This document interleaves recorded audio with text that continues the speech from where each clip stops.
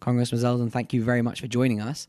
Could you explain your the role that you've been playing now post the Iran deal uh, in holding the Iranian regime accountable um, now that the deal's passed?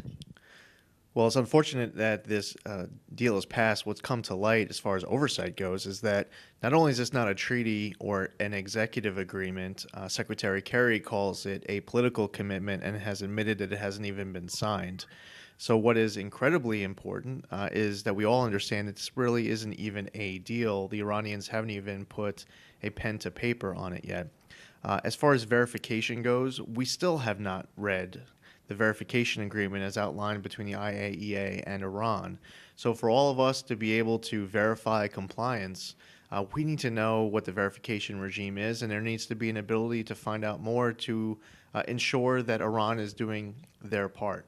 Uh, so that's all part of it, but we also have a whole lot of other bad activities uh, by Iran that, that wasn't dealt with as part of the, the deal. So Iran working to overthrow foreign governments, financing terror, uh, pledging to wipe Israel off the map, chanting death to America as they do it. Uh, and the list goes on. So, as far as all the other bad activities, we need to understand that this is a, a country that doesn't respect weakness, they only respect strength. The leverage that brings them to the table are the sanctions.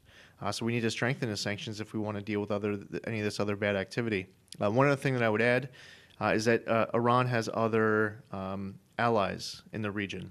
So, any effort to replace Assad, uh, to weaken Hezbollah, weaken Hamas, weaken uh, Putin uh, and Russia, and, and the alliance that's being formed between the Iranians and Russia, or the Iranians and China.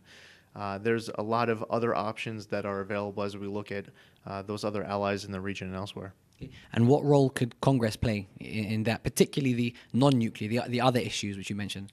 Well, first and foremost, it's uh, with regards to sanctions. Uh, that was they were working. Uh, it was weakening the regime that uh, was in power. They desperately needed the sanctions relief. Uh, they got uh, 100, 150 billion dollars worth of sanctions relief. Uh, Congress needs to ensure, especially when a new president comes in, hopefully one uh, who better understands this issue, uh, we need to be increasing sanctions and putting the, the, sanctions regime back in place as opposed to dismantling it because the Iranians will not come to the table because they believe that they are good world citizens. That's, uh, that's just not reality. Thank you very much, Congressman Zeldin.